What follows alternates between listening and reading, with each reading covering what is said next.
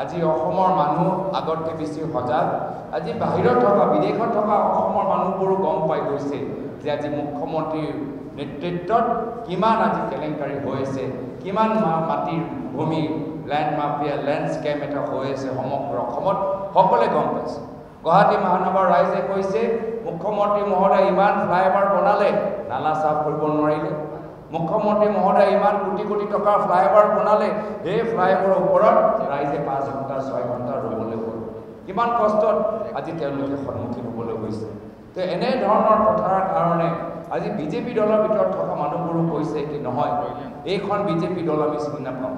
এইখন R S S দল সংঘ সংঘ আমি চিনি নাপাওঁ। এয়া এতিয়া আৰ এছ এছ বা বিজেপি হৈ থকা নাই। এয়া এজন বিশেষ মানুহৰ ব্যক্তিগত সম্পত্তি এটা ব্যক্তিগত অনুষ্ঠান হৈ গৈছে। যাৰ ফলত বহুত মানুহ এতিয়া বিজেপি আৰ এছ এছৰ পৰা আঁতৰি এতিয়া আমাৰ দলটোত যোগদান কৰিছে।